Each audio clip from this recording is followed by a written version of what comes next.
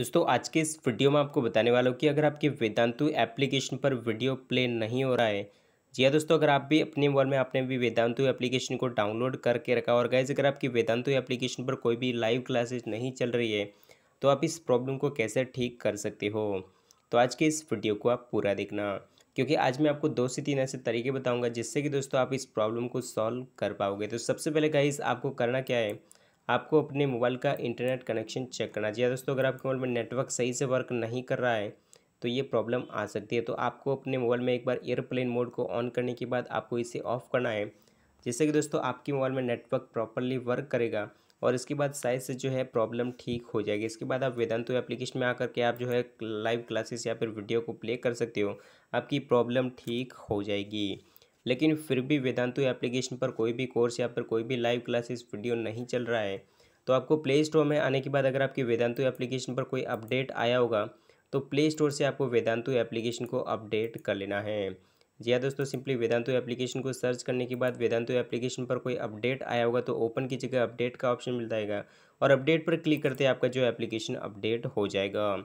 और इसके बाद यहाँ पर आप देख सकते हो, मोबाइल की सेटिंग्स में जाने के बाद सिंपली आपको जो है ऐप्स या फिर एप्लीकेशन मैनेजमेंट का ऑप्शन मिल जाएगा। तो सिंपली आपको इस पर क्लिक करना है। इसके बाद आपको मैनेज ऐप्स पर क्लिक करना है। और इस ऑप्शन पर क्लिक करने के बाद आपको वेदांतु एप्लीकेशन को यहाँ पर आपको ढूंढना है। यहाँ पर सर्च बार पर क्लिक करने के बाद यहाँ से आप वेदांतु एप्लीकेशन को सर्च भी कर सकते हो। वेदांतु एप्लीकेशन पर क्लिक करने के बाद आपको वेदांतु एप्लीकेशन का क्लियर डेटा और फोर्स स्टॉप कर लेना। फोर्स स्टॉप पर क्लिक करने के बाद ओके पर क्लिक करना है। और क्लियर डेटा पर क्लिक करने के बाद क्लियर ऑल डेटा पर क्लिक करने के बाद आपको ओके पर क्लिक करना है। यहाँ पर आपको फोर्स स्टॉप पर क्लियर डेटा करने के बाद यहाँ से आपको बाहर आना है। अब जो है आपकी वेदांतु की सारी प्रॉब्लम ठीक हो जाएगी। अब जो है वेदांतु एप्लीकेशन को ओपन कर सकते हो। वेदांतु एप्लीकेशन पर आपकी लाइव क्लासेस वीडियो वगैरह जो है प्ले होना स्टार्ट हो जाएँगे। जी हाँ दोस्तों, आपकी वेदांतु एप्लीकेशन की वीडियो प्रॉब्लम ठीक हो जाएगी। इसके बाद वेदांतु एप्लीकेशन में आप लाइव क्लासेस ज्वाइन कर सकते हो वीडियो वगैरह देख सकते हो और आपकी जो है प्रॉब्लम ठीक हो जाएगी। तो गाइज़ कुछ इस तरीके से आप वेदांतु एप्लीकेशन की जो है वीडियो प्रॉब्लम को आप सॉल्व कर सकते हो।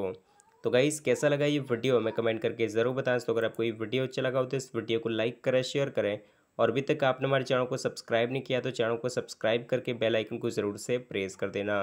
और गाइज़ यहाँ पर आप देख सकते हो हमारी लाइव क्लासेस यहाँ पर जो है स्टार्ट हो चुकी है। तो आप दोस्तों यहाँ पर लाइव क्लासेस हमारी स्टार्ट हो चुकी है। तो इस तरीके से गाइज़ आप जो है वेदांतो एप्लीकेशन के आप ओपन प्रॉब्लम को आप ठीक कर सकते हो। तो गाइज़ कैसा लगा ये वीडियो हमें कमेंट करके ज़रूर बताएँ। तो अगर आपको ये वीडियो अच्छा लगा इस वीडियो को लाइक करें शेयर ज़रूर करें।